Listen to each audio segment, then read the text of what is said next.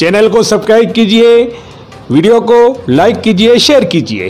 भाजपा जनजाति मोर्चा के प्रदेश महामंत्री धर्मेंद्र सिंह राठौर का सागवाड़ा नगर में पहुँचने पर किया गया स्वागत। सागवाड़ा नगर के गोल चौराहे पर पहुँचने पर किया गया प्रदेश महामंत्री का स्वागत। इस अवसर पर जनजाति मोर्चा जिलाध्यक्ष कांतिलाल डामोर, सागवाड़ा प्रधानेश्वर लाल सरकोटा जिला परिषद सदस्य कांतिलाल परमार, नरेंद्र गुवाडिया प्रेमचंद डामोर चंदू बाबू अल्पसंख्यक मोर्चा जिलाध्यक्ष शेख राजू भाई बर्तन वाला उपस्थित रहे।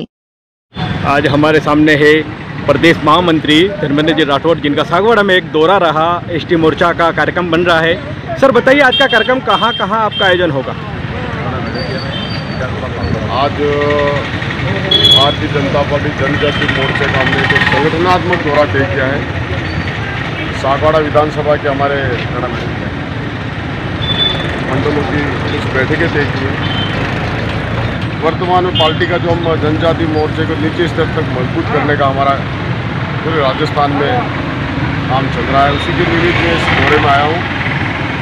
और राजस्थान की कांग्रेस सरकार का भी जो पिछले दो ढाई साल के कार्यकाल के दौरान दलित, शोषित और आदिवासी पर जो अत्याचार हो रहा है अभी आप देखो तो झालावाड़ में कृष्णा वाल्मीकि एक दलित युवक को जिस तरह से कुछ समाज कंटकों ने सरेआम पीटा और उसकी हत्या कर दी लेकिन सरकार मुख दर्शक बनी रही और कोई एक्शन नहीं लिया इसी तरीके से घटना जिस दलितों पर अत्याचार दो ढाई साल में बहुत बढ़े। तो इसी को लेकर हम जन जागरण अभियान और कांग्रेस दलित और आदिवासी नीतियों के विरोध में हम आम जनता को जागृत करने का काम और संगठन को मज़बूत करने का काम और इसी के निमित्त मेरा आज सागवाड़ा की इस विधानसभा क्षेत्र में दौरा। बहुत बहुत धन्यवाद, साहब।